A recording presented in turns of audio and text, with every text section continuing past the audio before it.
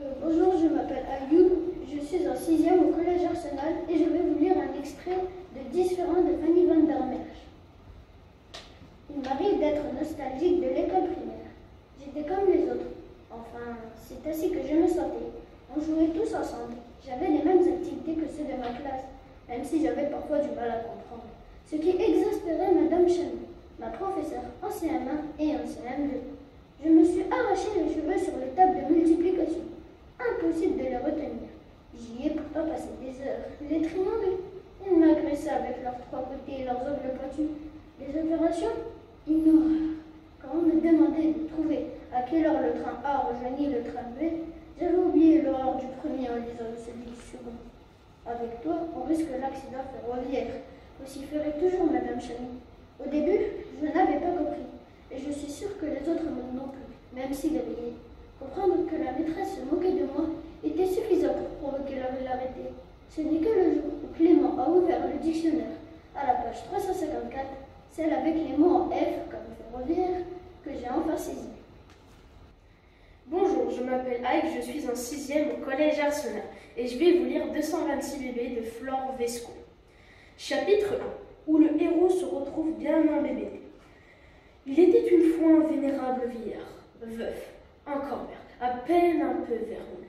Il était si vieux que depuis qu'il était venu au monde, il avait pris 90 822, avait dit 12 166 jours, lu 1047 livres, embrassé 5 femmes pour un total de 11 622 baisers, reprisé 283 chaussettes, admiré 59 couchers de soleil, écrasé par mes gardes 21 escargots et fêté 76 fois son anniversaire.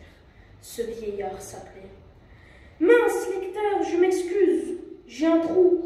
Pourtant, je l'ai sur le bout de la langue. Je crois qu'il se prénommait Hubert. Non, attendez. Oui, bien sûr, il s'appelait Norbert. Où était-ce Robert? Colbert Egbert Philibert Adelbert Lambert Wilbert Fulbert Gilbert Albert Ah, j'y suis, je me souviens maintenant. Ce vieillard s'appelait Chrysostome. Cela dit, pour faire plus court, je propose que nous l'appelions Bert. Pendant 62 ans, Bert avait été allumettier. C'était un dur métier. À chaque fois qu'il vendait une boîte d'allumettes, il mettait un sou de côté. Quand il eut économisé 64 935 sous, il put enfin réaliser son rêve. Il prit sa retraite et s'acheta une maisonnette. Je m'appelle Jessie, je suis en deuxième au collège Arsenal et je vais vous lire un extrait de 6 contre 1 de Cécile Alix. J'arrive dans ma rue, ma mère sera là dans 20 minutes. Je n'ai presque pas de devoir. Si je l'aide à manger et à préparer le repas, on pourra peut-être se faire un. Je ne sais pas ce qui m'alerte. Quelque chose me pousse à redresser la tête et à ralentir le pas. Il y a un truc qui cloche. C'est quoi? Cette musique? Je. Ils sont là, à 50 mètres de moi, assis sur le muret en face de l'entrée de mon immeuble. La meute complet. Julien me tourne le dos, sur son museau, une tête de mort me pique de ses jets carnivores. Il parle aux autres en agitant les bras. Il rit. Je ne sais pas quoi faire. Mon cœur s'est arrêté un instant avant d'entamer une course folle. J'avance en rasant les murs. Ils montent le son. Aucun ne tourne la tête vers moi. Pourtant, je suis certain qu'ils ont conscience de ma présence. Plus que 30 pas. Un calvaire. Mes doigts tremblent. Je tape trois fois le digicode, m'engouffre dans le hall, monte à l'étage en soufflant, déverrouille la porte et me précipite dans l'appartement. Planqué derrière le rideau du salon, je les épie en me rongeant les ongles. Dans la vitre, mon reflet blafard, et eux derrière. Je vais vomir dans la cuvette des toilettes. Ils partent avant le retour de ma mère, sans se presser, une de copains. Juste avant de tourner au coin de la rue, Julien lève le bras et agite la main, comme pour saluer quelqu'un. Je comprends le message, il ne me lâchera jamais. Il est là, et bien là. Bonjour, je m'appelle Swan, je suis au collège Arsenal en 6e et je vais vous lire Les ailes noires de la nuit de Jean-Marc Ligny. C'est une silhouette d'apparence humaine, debout devant la table de nuit. Ses grands yeux luisent jaune zéro.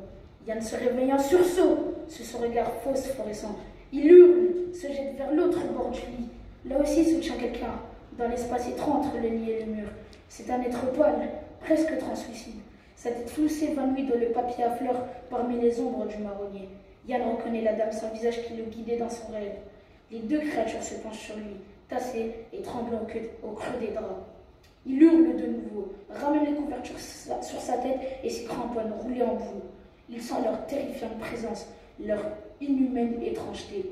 Les couvertures sont saisies, arrachées. Yann émet un cri étranglé. Il croit sa dernière heure venue. Bonjour, je m'appelle Sarah, je suis en sixième au collège Arsenal et je vais vous lire Au nom de l'ours de Catherine Galadi.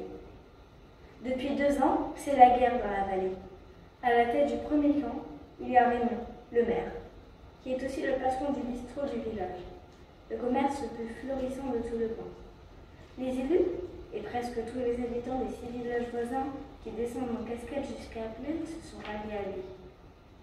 Dans l'autre camp, on trouve mon père, ma mère, Corinne, quelques bergers et une poignée de militants écologistes. On ne peut pas dire que les effectifs jouent en faveur du camp C'est le tunnel qui a mis le feu aux poudres. Ce n'est que les autorités ont décidé de construire à la frontière, à quelques kilomètres au-dessus de chez nous, pour permettre le passage des camions étrangers qui filent vers les pays du Nord. Quand l'annonce a été officialisée dans la salle de la mairie, en soir de neige, les applaudissements ont crépité. C'est tout juste si un feu d'artifice n'a pas été tiré. Les habitants ont pensé qu'ils auraient leur part du gâteau, et que du boulot sur le chantier, il y en aurait pour eux aussi. Mon père s'apprêtait à franchir le seuil quand ma mère a glissé une main dans la sienne et s'est retournée. La colère faisait monter sa voix dans les aigus. Les fougères, soit, mais l'ours, vous en faites quoi? Vous le sacrifiez lui aussi? Je dois dire qu'elle a fait son petit effet. Parce que tout le monde tient à l'ours dans la vallée, même les bergers qui auraient toutes les raisons de s'en méfier à cause de leurs produits qui se sont fait parfois délivrer. Mais l'ours est trop vieux et trop fatigué, il ne s'appelle plus au troupeau depuis longtemps. Entre le plantigrade et les habitants d'ici, il s'est noué quelque chose de spécial. L'animal est le dernier survivant de son espèce. Et pour terminer ses jours, c'est notre montagne qui a choisi, parce qu'elle est encore sauvage et préservée.